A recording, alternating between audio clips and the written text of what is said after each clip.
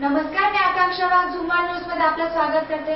चला बघूया आजच्या महत्त्वाच्या बातमीकडे. जपानमध्ये तीस एप्रिल रोजी एका काळाचा अंत झाला. राजे अके हितो मंगळवारी निवृत्त झाले. आज युवराज नारू हितोंचा राज्याभिषेक होणार आहे. जपानचे राजे अहकितो एकोणावीसशे एकोणनव्वदपासून जगातील सर्वात प्रगत देशांपैकी एका देशाचे राजे आहेत. दोनशे वर्षानंतर प्रथमच पदावरून पायउतार होणारे ते पहिले राजे आहेत.